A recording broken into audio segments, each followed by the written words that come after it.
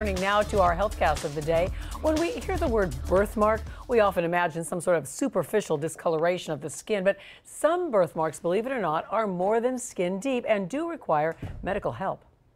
From the day he was born, Albert Diaz's son Austin saw a pediatrician for routine checkups. Nothing ever showed any signs of anything.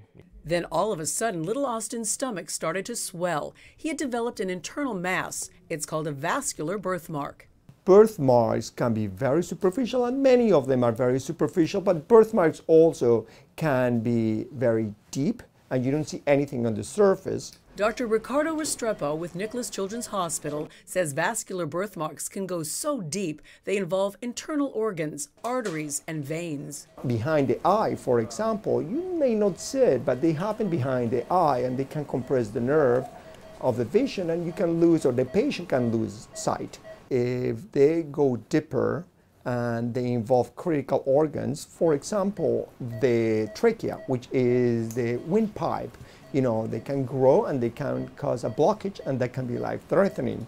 Warning signs of an internal vascular birthmark are pain, bleeding, nausea, vomiting, or a fever as a result of an infection. Sometimes it could be too late by the time you discover them and uh, you know it happens all of a sudden. The patient comes to the emergency room with a very big belly distended belly because it bled or it became infected. Once diagnosed typically by an mri dr restrepo can perform a minimally invasive procedure.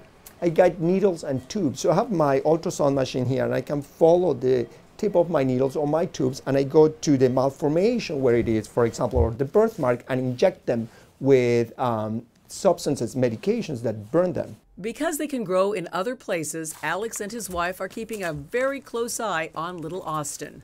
We try to give the doctor as much information as possible so then that way he could figure out, you know, what what the next course is. But as far as dad, there hasn't been anything since August of 2016. So and some of these internal birthmarks can actually be treated with oral medications as well. And although they may not actually go away completely with either of these two treatments, the size is reduced enough to no longer pose a threat. And that's your HealthCast for the day.